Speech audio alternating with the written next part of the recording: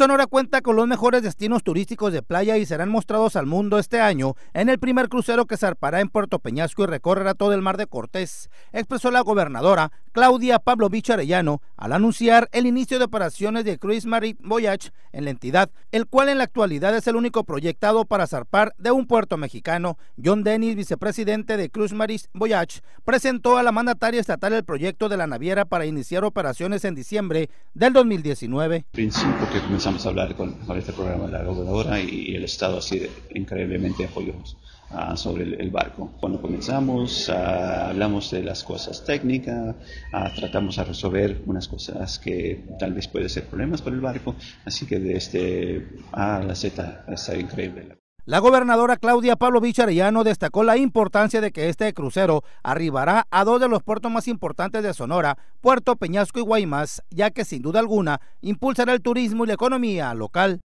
Muchas gracias por pensar en, John, por pensar en Sonora. Y la verdad es que el Mar de Cortés es, es bellísimo y creo que lo que van a hacer es va a redituar en, en Gran Mayoría nos cuenta con todo el apoyo y hay que, hay que hacer una gran promoción. Este, esto es la base de todo. Van a tener mucho éxito. Con edición de Arturo Campos para las noticias, Marco Antonio Palma.